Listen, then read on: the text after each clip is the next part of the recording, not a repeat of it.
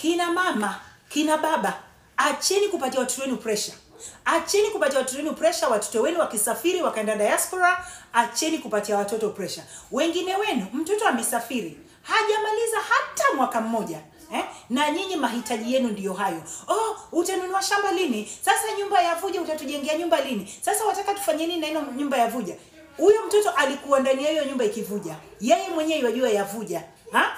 Diaspora maisha ni magumu saizi. Maisha ni magumu. Kitambo kile huyu mtoto wako afanye kazi ajilipie nyumba ajinundie chakula ajinundie mavazi afanye vitu vyake vyote. Shukuru mungu yuko na pesa fulani ya kutumia wengine labda wanasomesha wadogo zao. Shukuru mungu ya kutumia pesa ukala. Maanake wengine hata salamu hawatakupatia. Maisha ni magumu. Maisha ni magumu. Kwa hivyo acheni hizi pressure zenye mwapatia watoto wenu. Wengine wenu mpaka mwaingiza watoto wenu kwenye competition na watu wenye hawa watoto hawawajui.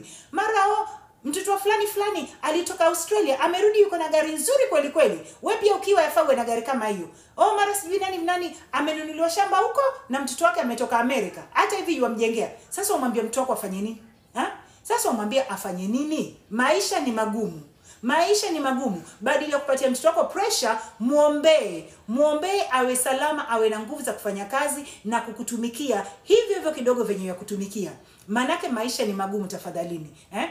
wengine wenu sasa mtoto ana kazi hiyo kazi yenyewe ni kazi yenye ni kibarua kibarua haeleweki lakini wewe mama pati haikukosi. Pati yoyote lazima uende na lazima uwe na nguo mpya eh? lazima uonekane wewe. Wengine wenu mpaka mnaenda to the extent ya kuambia watoto wenu eti oh wajua toka uende mtaani watu wananicheka watu wananicheka siku hizi. Watu wanakucheka vipi? Wanakuchekea nini? Mbona hawa watu walikuwa hawakucheki mtoto wako akiwapo?